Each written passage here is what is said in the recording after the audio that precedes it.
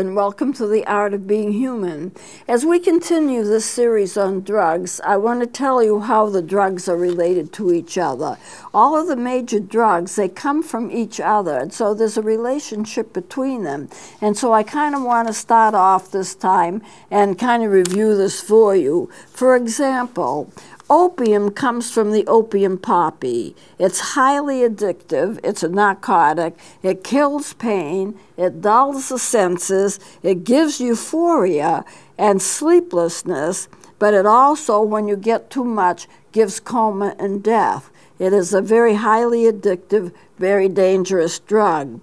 Now, morphine comes from opium. I have some concerns about morphine because they do give it to people who are dying. I remember when my mother was dying and we were all around her bedside, she suddenly put her hand, she wasn't talking, she was like comatose, and she put her hand to her head. That's all she did.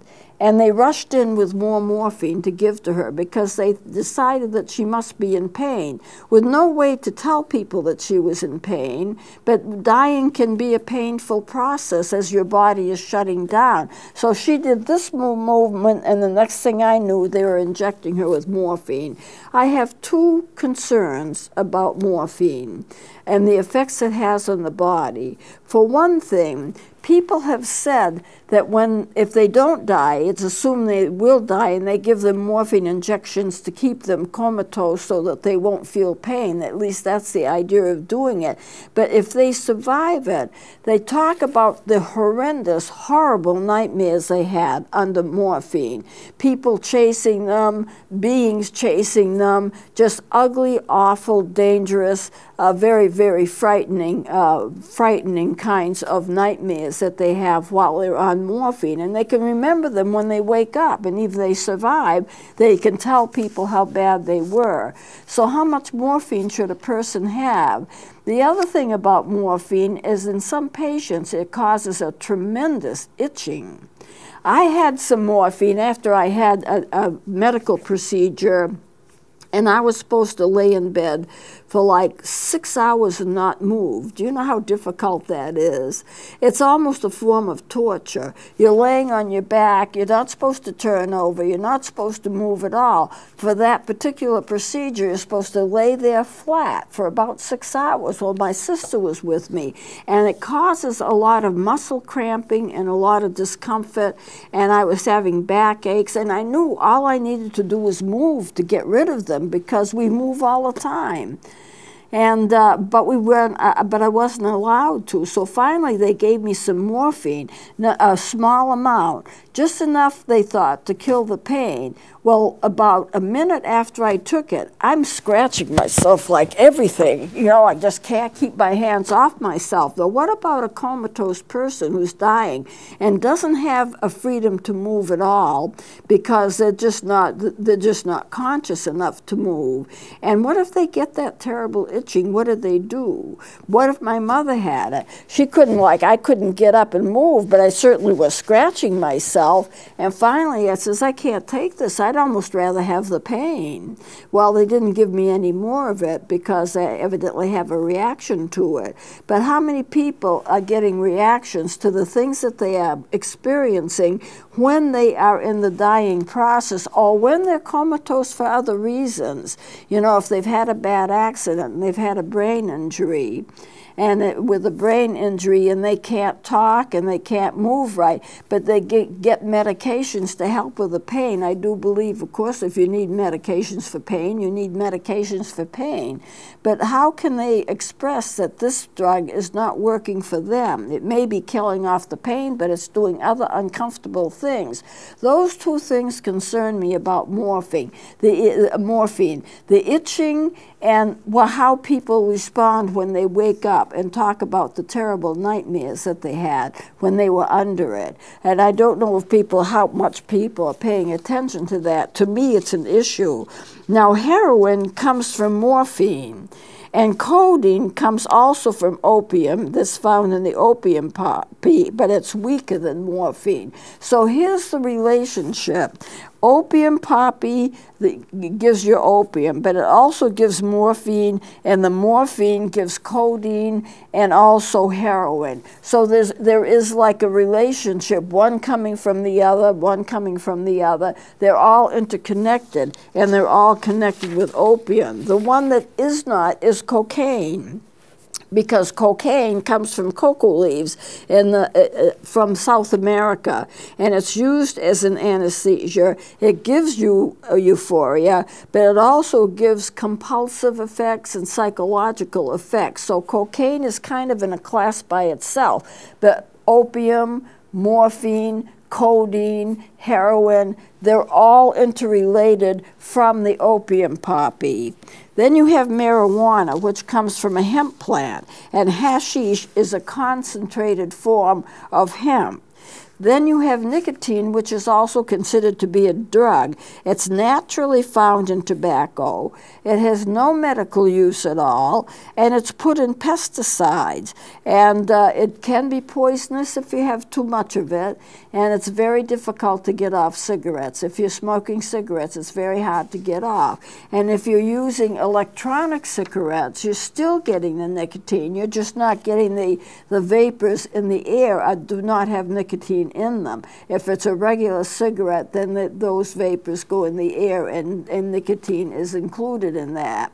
I had a friend of mine. I know it's hard to get off smoking. I've never smoked, and I know it's hard to get over it. But uh, a friend of mine who wanted to quit smoking uh, told me about how she did it. And uh, she made a pact with somebody else, a good friend of hers, who also wanted to quit smoking. And they made a pact one for another. Now, this might not work for everybody, but it worked for them. If one of them smoked a cigarette, they would have to call the other one and tell them, and the other one would also have to smoke the cigarette. And so, in order to stop, no, neither one of them wanted to be the cause of somebody else wanted smoking because the other person didn't want to smoke either. So they would think twice before they would take a cigarette because they did not, because if they made the promise, if I smoke, I'll have to tell you, you'll also have to smoke. Indifference to each other, not wanting each other to smoke because they were both trying to quit, the way that they quit was they just wouldn't smoke because of the fact that they would cause somebody else who they they cared for to smoke, and they didn't want to do that. Now, I'm not saying it would work for everybody, but it worked for them, and the both of them stopped smoking, and they never smoked again. Now, alcohol is fermented from grain. It has no nutritional value at all, but it is classed as a food.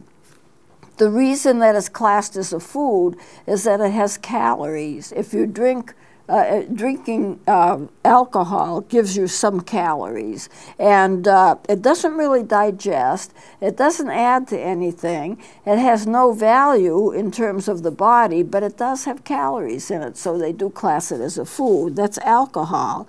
Well, what about caffeine? I've mentioned caffeine before. It's a natural substance that found, is found in coffee, tea, chocolate and I believe it's added, and probably a whole lot of other things, but it is a natural substance. It's put in colas and it's put in foods and beverages. And the reason uh, that it's there, uh, that is added, is that it gives you an extra jolt. It gives you an extra uh, boost. And so a lot of people will drink it. How, how many people can't get by without their cup of coffee in the morning? You know, sometimes I can go day. I like coffee and I do drink it occasionally, but I, I, can go days without drinking it and not even feel any effects. Now there used to be a product. I'm assuming it's still on the market, but I don't know for sure, and that's NoDoz.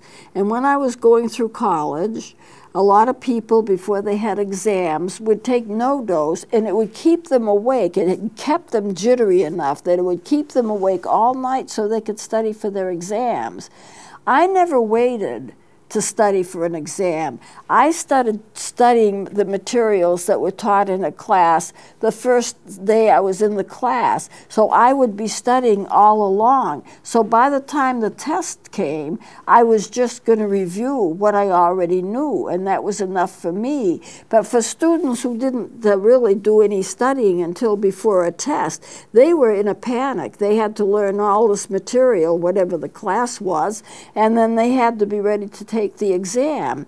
It's a poor way to learn because after you've taken the exam, you're going to forget all that you crammed in. It's not going to stay with you. If you study it and review as you go along, then it's going to stay with you. So that's the best way to study. And they would stay up all night to type papers. If I knew a paper was due, I started sometimes as much as six weeks early to write a paper. I had the paper all done, all typed up. When it was due, it was due. I had it done.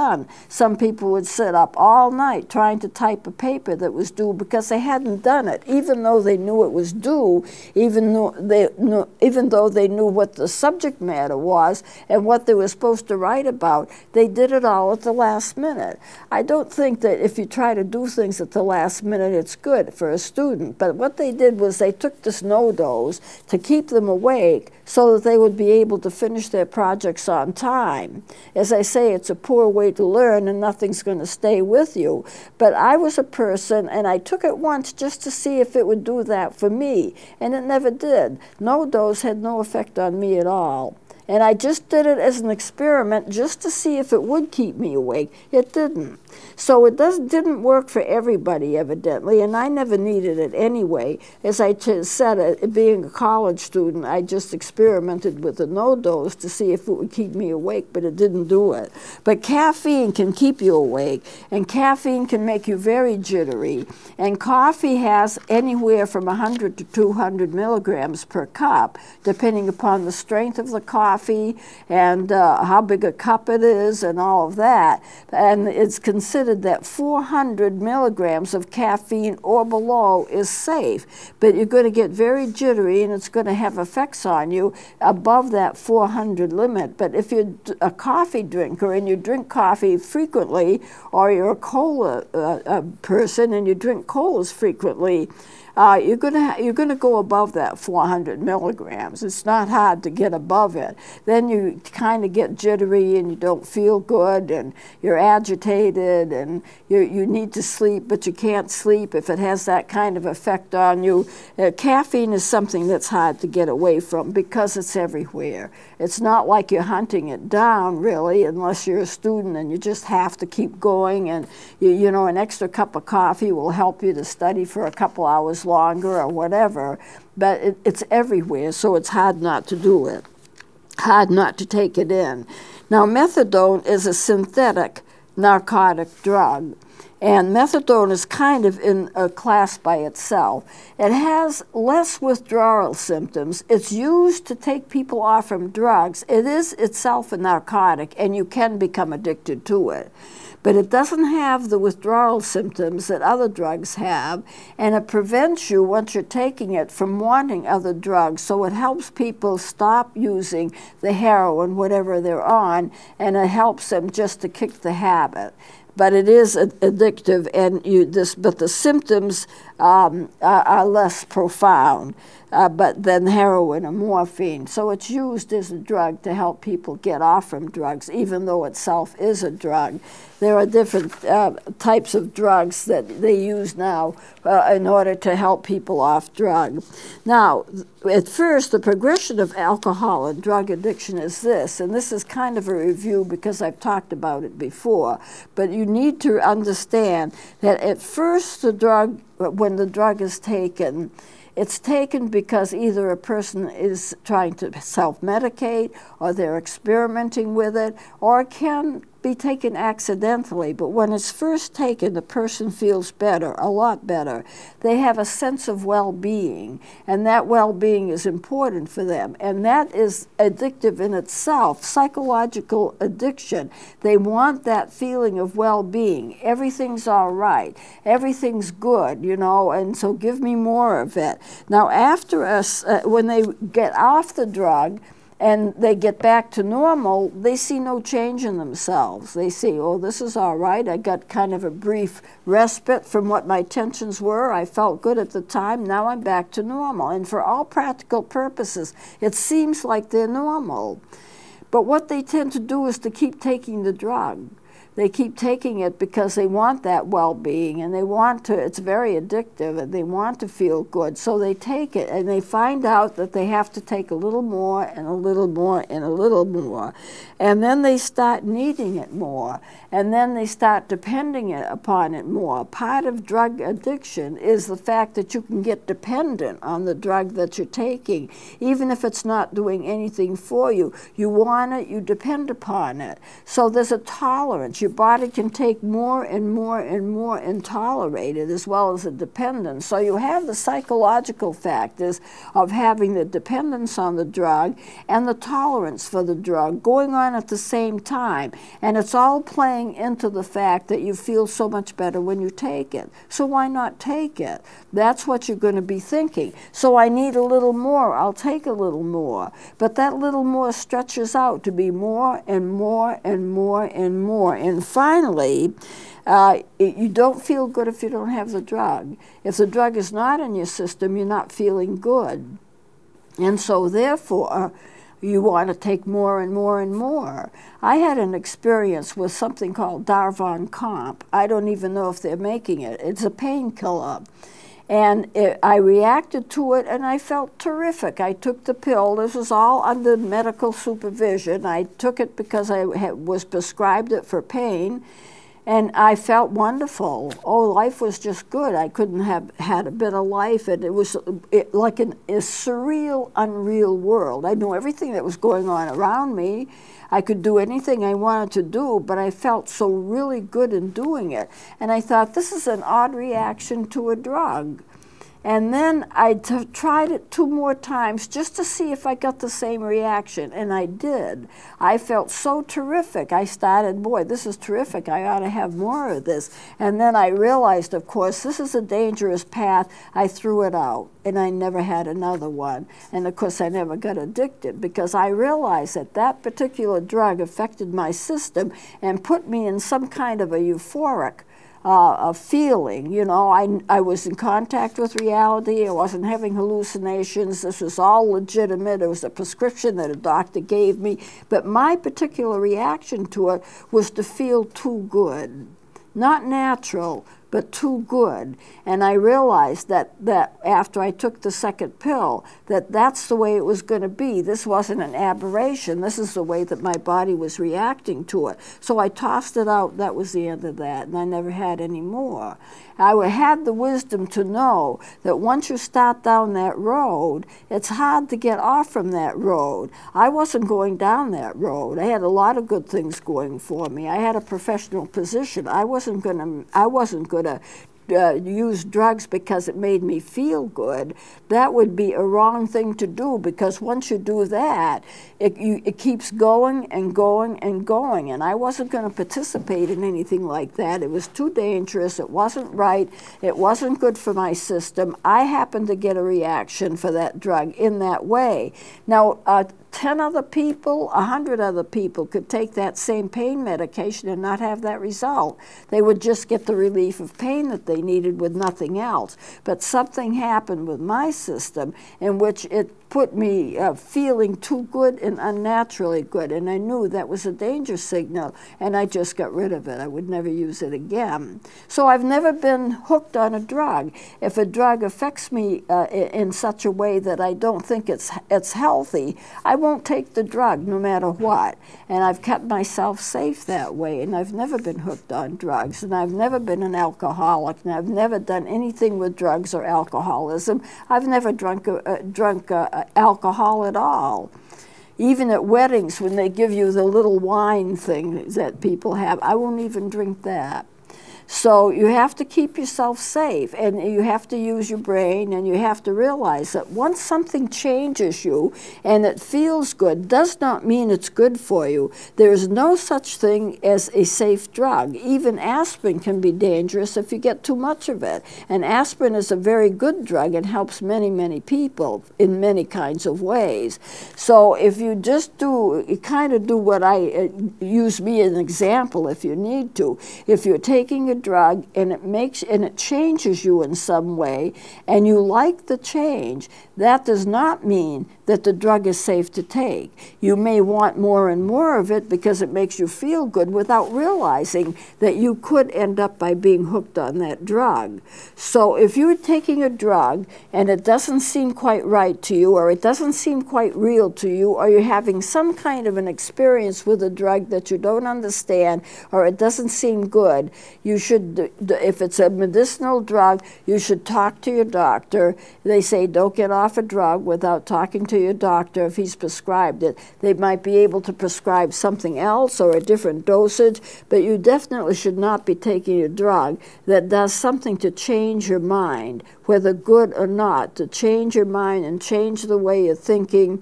The only drugs that have the right to do that are psychiatric drugs that are under careful scrutiny, uh, uh, uh, prescribed by a psychiatrist for patients who are mentally ill, who need to have a balance in their body chemistry to stop the symptoms of the mental illness. And that's a special class of psychiatric drugs that are given by people that are very well trained in how to change the system so the person can live a normal life. You can't live a normal life if you're delusional or if you're having uh, auditory uh, hallucinations or visual hallucinations or other kinds of symptoms. Your system needs to be brought into balance, and the psychiatric drugs can do that. And they're very helpful to people who need them, but always under the supervision of a person who's specially trained to give them. Other drugs, if you take them and they're making a change in you, whether good or not, you need to be off the drug. If it's a prescription, you need to talk to your doctor about it because no doctor wants to give a drug that is going to harm a patient. So I'm going to close it here. We'll continue with this next time. Please join me then.